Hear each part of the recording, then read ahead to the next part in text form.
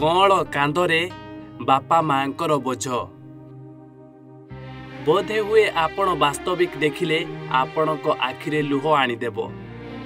ନବମ ଶ୍ରେଣୀରେ ପାଠ ପଢୁଥିବା ରାଖଲ ବାପା ମାଙ୍କର ଚିକିତ୍ସା ଅପେକ୍ଷାରେ ଥିବାବେଳେ ଅର୍ଥ ସାଜିଛି ବାଧକ।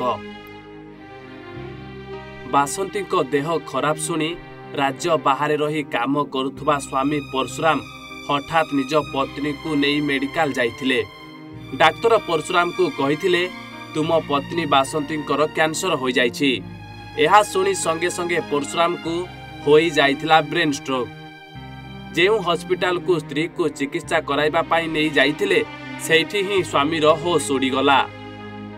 କାରଣ ସ୍ତ୍ରୀର କ୍ୟାନ୍ସର ଖବର ଶୁଣି ପରଶୁରାମଙ୍କର ହୋଇଥିଲା ବ୍ରେନ୍ ଷ୍ଟ୍ରୋକ୍। ଏଭଳି ଘଟଣା ଦେଖିବାକୁ ମିଳିଥିଲା ପୁରୀ ଜିଲ୍ଲା ଅସ୍ତରଙ୍ଗ ବ୍ଲକ ଛୋରିଆନା ପଞ୍ଚାୟତର ବଳଭଦ୍ରପୁର ଗାଁରେ। ହଠାତ୍ ଯେପରି ପରିବାର ଉପରକୁ ମାଡ଼ି ଆସିଲା ଦୁଃଖର କଳା ବାଦଲ। ଏବେ ଶଯ୍ୟାଶାୟୀ ହୋଇଥିବା ବାପା ମାଆର ସେବା କରୁଛନ୍ତି ପୁଅ ରାଖଲ। ବାପା ମାଆର ଚିକିତ୍ସାର ବୋଝ ଅନ୍ୟପଟେ ପରିବାର ଚଳାଇବାର ବୋଝ। ଏବେ ଦୁଃଖରେ ଭାଙ୍ଗି ପଡ଼ିଛନ୍ତି ରାଖଲ।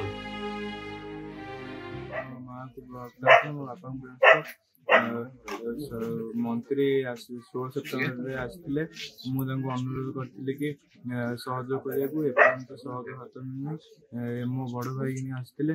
ମୁଁ ସେ ମନ୍ତ୍ରୀ ସାହାଯ୍ୟ କରିଥିଲେ। ମୁଁ ସରକାରଙ୍କୁ ଅନୁରୋଧ କରୁଛି କି ବଡ଼ ଭାଇଙ୍କ ପରି ଆମକୁ କିଛି ସାହାଯ୍ୟ କରନ୍ତୁ। ଏଭଳି ଦୁଃଖଦ ଖବର ଅସ୍ତରଙ୍ଗ ଅଞ୍ଚଳ ଅଗ୍ରଣୀ ଅନୁଷ୍ଠାନ ସବୁଜ ଶାଖାର ସଦସ୍ୟମାନେ ପହଞ୍ଚି ଅସହାୟ ପରିବାରକୁ ଆର୍ଥିକ ସହାୟତା କରିବା ସହ କିଛି ରାସନ ସାମଗ୍ରୀ ପ୍ରଦାନ କରିଛନ୍ତି ଏକ ପୁରା ଦୁଃଖ ପରିବାର ଏଇ ଦୁଃଖ ପରିବାରକୁ ଶୁଣିକିରି ଆମେ ସେଠି ତାଙ୍କ ପାଖରେ ଛିଡା ହୋଇଥିଲୁ ସବୁ ଶାଖା ତରଫରୁ ଏବଂ କିଛି ଖାଦ୍ୟ ପଦାର୍ଥ ଏବଂ କିଛି ଆର୍ଥିକ ସାହାଯ୍ୟ ଦେଇଥିଲୁ। ଆମେ ଆପଣଙ୍କ ମାଧ୍ୟମରେ ସମସ୍ତଙ୍କୁ ଅନୁରୋଧ କରୁଛୁ କିଛି ବ୍ୟକ୍ତିବିଶେଷ ଏବଂ ସମାଜର କିଛି ଅଗ୍ରଣୀ ଅନୁଷ୍ଠାନ ତାଙ୍କ ପାଖରେ ପହଞ୍ଚି ଏଇ ଦୁଃଖ ସମୟରେ ତାଙ୍କୁ କିଛି ଆର୍ଥିକ ସାହାଯ୍ୟ କଲେ ସେ ପରିବାର ଦମ୍ଭ ହେଇକିରି ଛିଡା ହବ। ଅ, ସରକାର ନିଜେ ତାଙ୍କ ଏପର୍ଯ୍ୟନ୍ତ ତ ତାଙ୍କୁ କିଛି ସହାୟତା ଦେଇନାହାନ୍ତି ଏବଂ ସରକାର ତାଙ୍କୁ ସହାୟତା ଦେବା ସହିତ ସମାଜରେ ଯିଏକି ବଦାନ୍ୟ ବ୍ୟକ୍ତି ତଥା ବଦାନ୍ୟ ଅନୁଷ୍ଠାନ ସବୁ ଅଛନ୍ତି ତାଙ୍କ ପାଖରେ ପହଞ୍ଚିକିରି ନିଶ୍ଚିନ୍ତ ସାହାଯ୍ୟ କଲେ ଭଲ ହୁଅନ୍ତା। ଏବଂ ସେ ଯେଉଁ ଅତି ଯେଉଁ ଦୁଃଖରେ ଅଛନ୍ତି ମୁଁ ଭଗବାନଙ୍କ ପାଖରେ ପ୍ରାର୍ଥନା କରିବି ତାଙ୍କୁ ସାହସ ଶକ୍ତି ଏବଂ ଧୈର୍ଯ୍ୟ ଦିଅନ୍ତୁ ଏବଂ ସେ କେମିତି ଏ ସମସ୍ୟାକୁ ମୁକାବିଲା କରିବା ପାଇଁ ନିଜେ ଭଗବାନ ତାଙ୍କୁ ଶକ୍ତି ଦିଅନ୍ତୁ। ଏଭଳି ଅସହାୟ ପରିବାରକୁ କୌଣସି ସରକାରୀ ସହାୟତା ମିଳିପାରିନାହିଁ।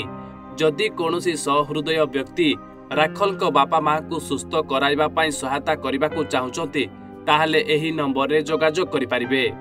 ଫୋନ୍ ନମ୍ବରଟି ହେଉଛି eight two six zero one eight six two two zero. ଏହି ନମ୍ବରରେ ଫୋନ୍ ପେ କରିପାରିବେ କିମ୍ବା ପରିବାରଙ୍କ ସହିତ ଯୋଗାଯୋଗ ବି କରିପାରିବେ। ଆପଣଙ୍କର ଗୋଟେ ଛୋଟ ସାହାଯ୍ୟରେ ଗୋଟିଏ ପରିବାର ମୁହଁରେ ହସ ଆଣିଦେବ। ଅସ୍ତରଙ୍ଗରୁ ପ୍ରକାଶ କୁମାର ବେହେରାଙ୍କ ରିପୋର୍ଟ ଓଡ଼ିଶା ଭାସ୍କର।